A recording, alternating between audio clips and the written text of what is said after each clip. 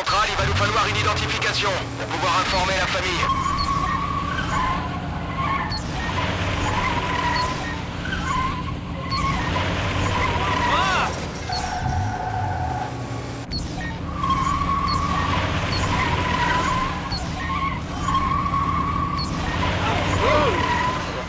l'assurance.